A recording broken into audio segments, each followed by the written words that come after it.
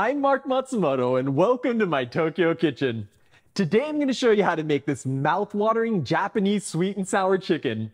It's super easy and perfect for packing into a bento, so stick around. Kurozuan literally means black vinegar sauce, and it's become a popular Chinese-inspired sweet and sour sauce in Japan. This dish, made with chicken and a rainbow of veggies, was created by the Japanese restaurant chain Ootoya, and it's since become a household staple here. I make mine with karaage chicken and I flash fry the veggies to preserve their color and texture. This makes them look like little gems after they're glazed with the sauce, and it's a brilliant addition to a bento box lunch. Sound good? Let's take a look at our ingredients. For the chicken, I've got 350 grams of skin-on thigh meat, 1 tablespoon of soy sauce, 1 tablespoon of sake, 1 teaspoon of grated ginger, and a third cup of potato starch. For the veggies, I'm using 100 grams each of Japanese eggplant, lotus root, sweet potato, carrot, and a mild green pepper like Anaheim or bell peppers. For the sweet and sour sauce, I have 3 tablespoons of sake, 3 tablespoons of sugar, 2 tablespoons of soy sauce, 3 tablespoons of black vinegar, and 1 tablespoon of rice vinegar.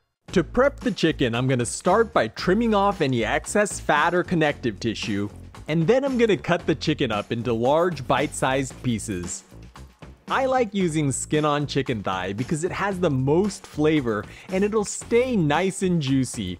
But you can also do this with chicken breast, or you can make it plant-based with tofu. If you want to try it out, go watch my tofu karaage video. Now we want to season the chicken with soy sauce, sake, and the grated ginger. Mix this together, and ideally you want to let this marinate in the fridge for a few hours but even 10 minutes is better than nothing. To prepare the eggplant, I'm gonna trim off the top, and then I'm gonna slice it into an oblique cut by holding the knife at a 45 degree angle to the eggplant and turning it a quarter turn between each cut.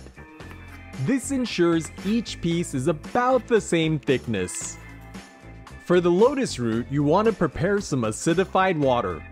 I'm using lemons, but vinegar will work as well. Now I'm gonna peel the lotus root. Despite its name, this is actually a rhizome of the lotus plant, and it has a marvelous crispy texture that kinda reminds me of sunchokes or water chestnut. Be sure to keep it in the acidified water when you're not handling it to keep it from discoloring. Now I'm gonna slice it up into rounds that are about a quarter inch thick.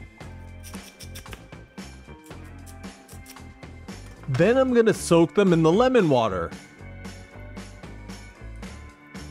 For the carrots, I'm also gonna cut these into an oblique cut. By the way, this cut is called rangiri in Japanese, and it's a popular way to cut cylindrical vegetables. Next, I'm gonna cut up the sweet potato the same way. This is a Japanese sweet potato which has magenta skin and the flesh turns golden when it's cooked. For the peppers, I like to slice along the indentations first. This divides it up into segments that can be pulled apart like this. As you can see, the white membranes that the seeds are attached to are right where we segmented the pepper. This makes them a lot easier to cut out. Now I'm just gonna cut these peppers into bite-sized pieces. Okay, our prep is done, so let's preheat about an inch of vegetable oil in a pot with high sides to 340 degrees Fahrenheit or 170 degrees Celsius. You also want to prepare a large cooling rack by layering on a few sheets of paper towels. Then we need to dry off our lotus root with some more paper towels. Just line them up and press out as much water from them as you can so they don't spatter when we fry them.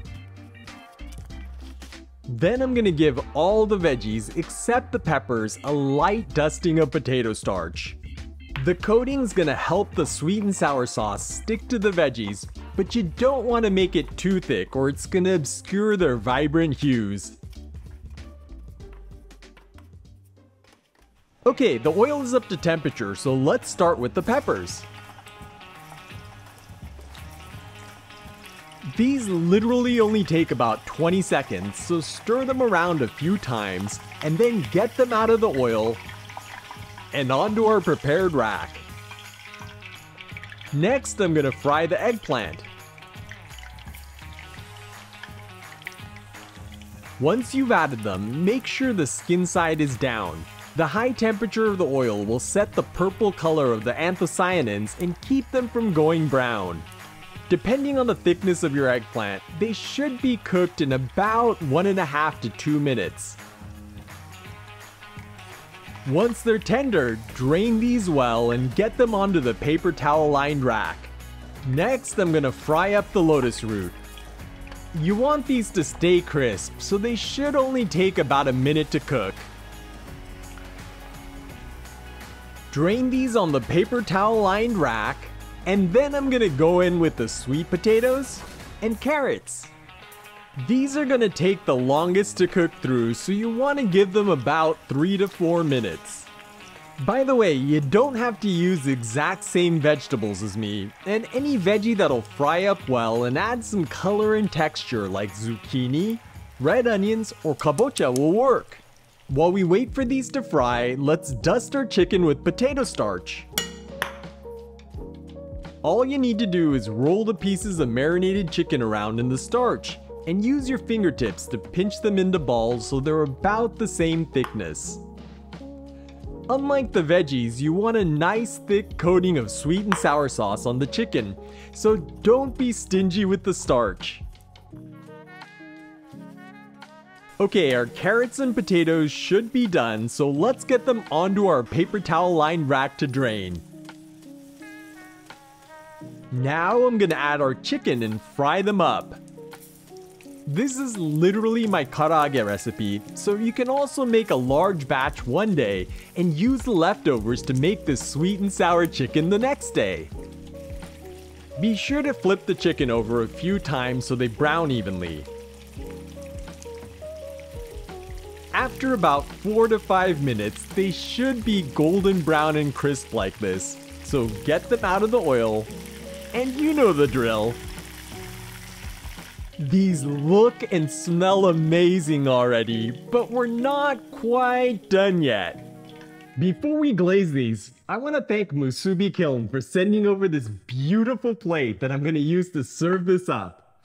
They've got a huge collection of handcrafted tableware that runs the gamut from classic to modern. So hit the link in the description down below to take a look and use coupon code NO RECIPES to get 5% off your order. To glaze the chicken and veggies, I'm gonna add the sugar, sake, and soy sauce to a large pan and bring the mixture to a rolling boil. Once the sugar is dissolved and the sauce no longer smells like alcohol, add the black vinegar and rice vinegar and stir it in. Then I'm gonna add the chicken, and all those flash fried veggies into the black vinegar sweet and sour sauce. Now we just need to toss everything together to glaze them with the sauce. I usually just do this with the pan, but if you're not confident in your tossing skills, you can do this with two spatulas like you're tossing a salad.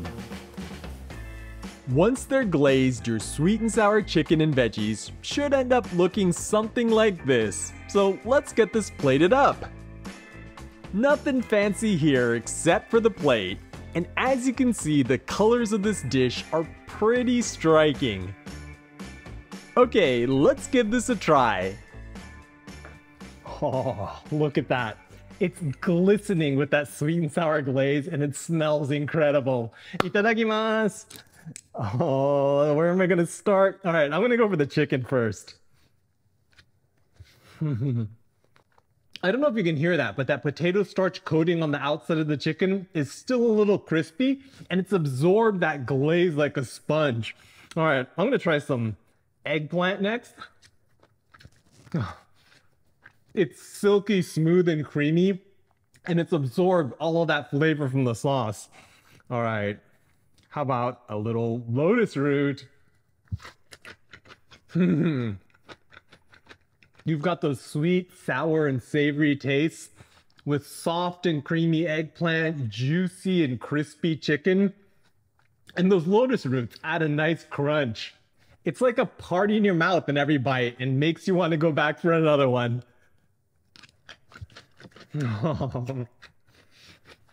it's so good. Well, I'm gonna go pack the rest of this into some bento boxes with some rice. But check out this playlist for more Japanese home cooking. And I'll catch you in the next one.